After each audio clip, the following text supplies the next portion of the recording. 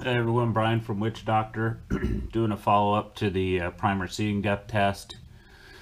In the last primer depth test, we found that primer seating has a major impact on, on outcomes like uh, the size of your group. Uh, it was clear that a seating depth that placed the primer into the primer pocket at 9 thousandths um, was an ideal uh, range. Um, SAAMI guidelines recommend 8 thousandths. So it's probably eight to nine thousandths or maybe seven to nine thousandths, something in that range seems to be the ideal uh, seating depth. Um, in our test, the last test, we found that the aggregate of five five shot groups for, for 9 thousandths seating depth was 0.1992, so that, that's a pretty good ag in the ones, uh, especially for a test rifle, test barrel. Uh, flush was 0.4282 and, and sending that uh, primer in 13 thousandths was 4321. So um, definitely flush and uh, really deep in there um, didn't do too well, but uh, 9 thousandths seemed to have done the best. Um, when you look at the anatomy of a primer relative to a primer pocket, you can see that the anvil protrudes beyond the primer cup. And so um, when seated at 9 thousandths for the BR4 primers that we used in the last test, the anvil is compressed 9 thousandths. But the primer cup itself has 4 thousandths clearance from the bottom of the primer pocket. And we'll show you kind of a... Uh, I drew, drew up a little picture here for you so you can take a look. Uh, let's zoom in.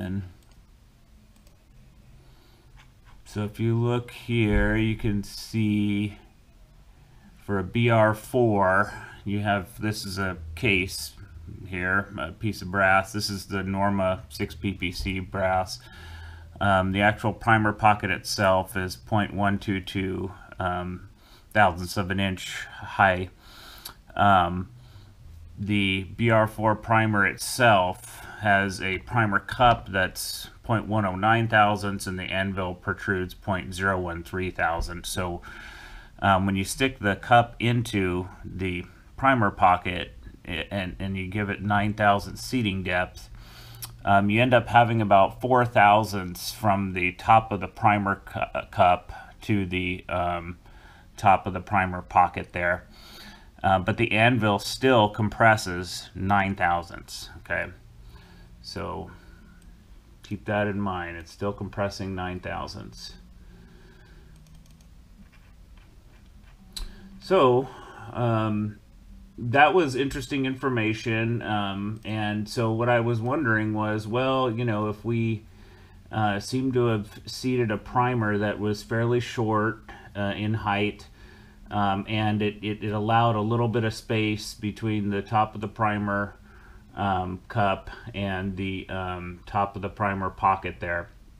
What if we used a primer that was uh, taller where um, if you seated it, you know, 9 thousandths, the primer cup itself would, would hit the top of the primer pocket uh, and uh, but still um, compress the anvil at 9 thousandths. So I was wondering about that. Like, does it really matter, you know, basically where the cup lies, um, or does it really matter where the anvil uh, is compressed?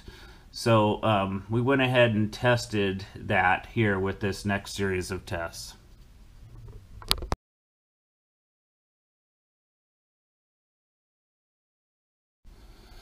Okay, so what we ended up doing was we took a CCI a set of CCI um, BR4s and use those. We set them at 9 thousandths um, seating depth. Um, and then we took CCI 450s and we set those at 9 thousandths seating depths. Now the difference is, is the BR4, the primer cup itself, um, is shorter. It's 0.109 and the 450 is, is higher, uh, 0.113. So when you seat the BR4, into their nine thousandths, you get about four thousandths there um, of, of clearance from the top of that primer cup to the top of the primer pocket. And I'm referring to the top of the primer pocket being this part here. Um, I know other people refer to it differently, and that's fine, but I'm referring to that as the top part uh, simply because when you are priming, you know, and, and you're orienting a bullet upwards, uh, that that's the top, not the bottom. Um, the 450 here, when you when you put that in nine thousandths, it tops off right at the top, so it's it's going to be touching there. So um, just wanted to test that out and see does the actual you know cup itself and the dimensions of the cup and where it lies in that pocket play a role, or is it simply the amount of uh, anvil um, compression? Because we're getting the same anvil compression here. We push that primer up there and that anvil compresses 9 thousandths. Same thing with this. We push that uh, primer up there and the anvil compresses at 9 thousandths. It's just that 4 thousandths of it doesn't have any actual cup around it, but in this one, it the entire compression, uh, compressed anvil has the cup around it. So um, anyway, so we're to go ahead and test that puppy out and see what happens.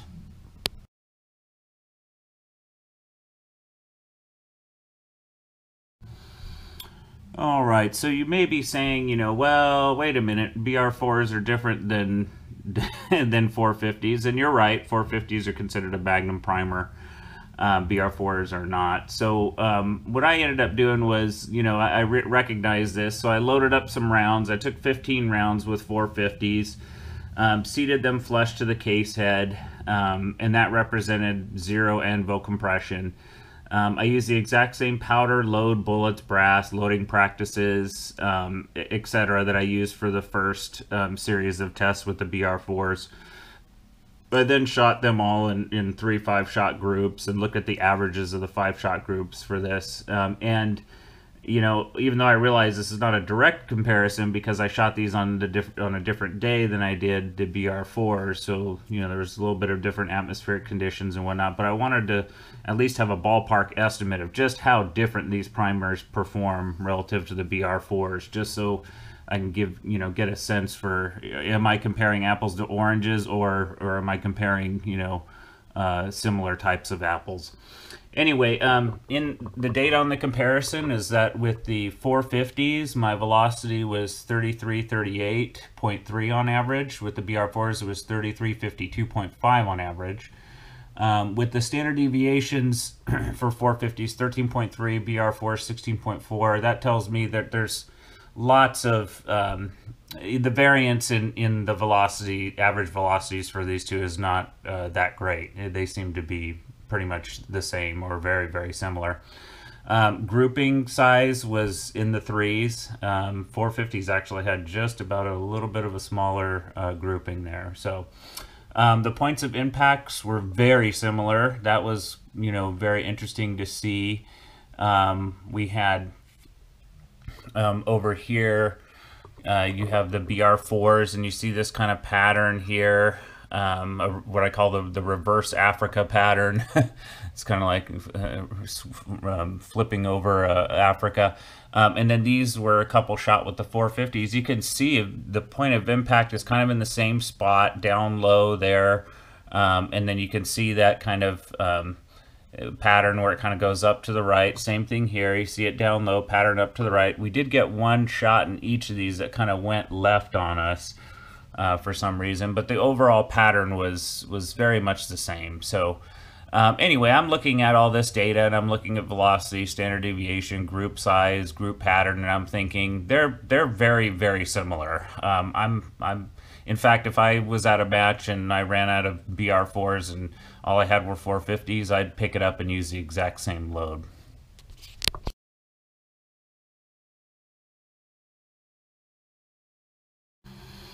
Okay, so for the main test, or we'll call test number two, I loaded 50 rounds. Um, I used 29.4 of N133. That's what I used in the last uh, primer test that I used. Um, I have to tell you, though, I did switch lots. Uh, my, my powder from the last test ran out, um, so I had to take an entirely new lot. Um, it was from the same year, but it was a different lot, so I was kind of, you know, wondering, hmm, are these going to shoot the same? But I went ahead and just loaded the 50 rounds anyway, expecting it, at least it's the same year. Usually I get pretty good lot to lot consistency uh, within a year for N133. So I just kind of took a little risk there. Um, I used Paul Peroski's uh, amazing Patriot bullet, again, seated 13 thousandths from the lands. 6 PPC, Norma brass, annealed. I mollied the internal necks. I did all the same stuff that I did for the previous um, primer test that I did. Um, the only difference was that uh, 25 rounds had the BR4s seated 9 thousandths into the primer pocket, and 25 rounds had the 450 seated into the 9 thousandths. Uh, that's the only difference, so I really isolated it to that. I used the same BAT Neuvo rifle that I've used for all my previous, for a lot of my uh, previous testings. All rounds were shot on the same day so that atmospheric conditions were relatively constant. Um, let's see. Um, there was a little bit of a difference um, in in in the day that I shot these than the previous primer test. The day that I shot this test was very windy. Uh, and the barometric pressure was a lot lower than usual. Uh, it was at 29.48. Um, we are usually over 29.7 and typically in the 29.930 range. So having a day where it was 29.48 with a lot of wind um, was not an ideal shooting scenario, and I was fully expecting to get massive groups uh, and and have a lot of trouble trying to shoot in the same condition, if you will. Um, the air was very turbulent, and um, anyway, what ended up happening too was on this target here, if you can see closely, you can see one that went way up.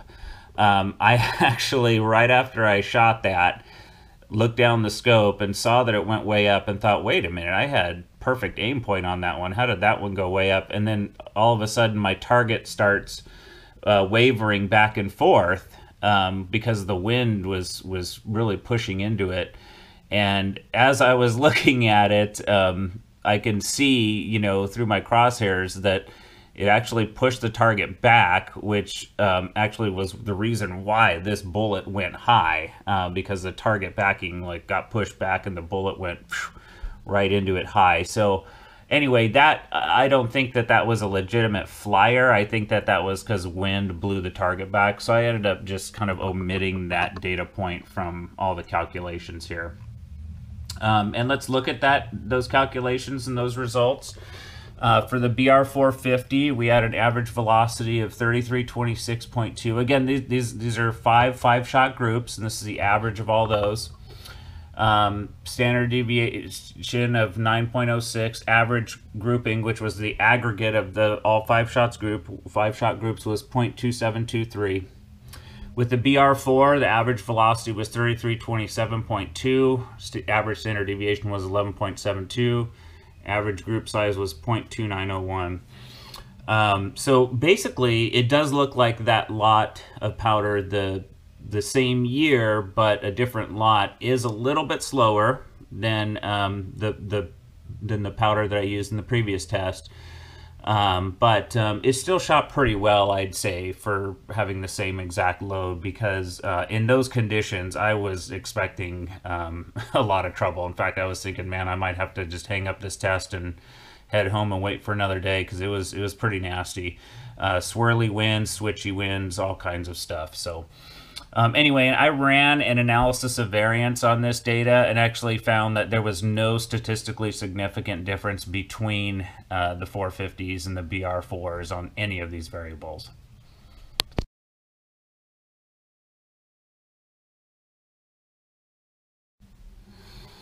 Okay, so in conclusion, building on the previous findings that showed that the anvil compression of 9 thousandths was ideal relative to other levels of compression, um, this test showed that primer cup size nor the location of the primer cup in relation to the um, top of the primer cup did not have an impact on precision. So in conclusion, the anvil compression is the key variable um, and it is recommended that you compress the anvil at either the SAAMI spec, which is 8 thousandths, um, or 9 thousandths like we saw in this test. Um, obviously, try testing it yourself. You may find that seven thousandths may work better than eight or nine, or eight works better than seven or nine, or, or nine works better than seven or eight or something. So I, I would just go ahead and test it out. But um, recommend starting in that range uh, because you'll probably find some pretty good results. Uh, if you do uniform your primer pockets, be sure to measure their depths after reaming them so that you can be sure to seat your primers to the ideal level uh, for the um, anvil compression. Okay, all right, everybody. So that concludes the test. Anvil compression is the big factor for primer seating. So um, make sure that you take all your measurements and make, and uh, make sure you get that anvil compressed uh, around eight nine thousandths, and you should be good to go with your primer pockets, uh, your primer pocket seating. Okay, everybody. Thank you. Please um, subscribe, like, and share.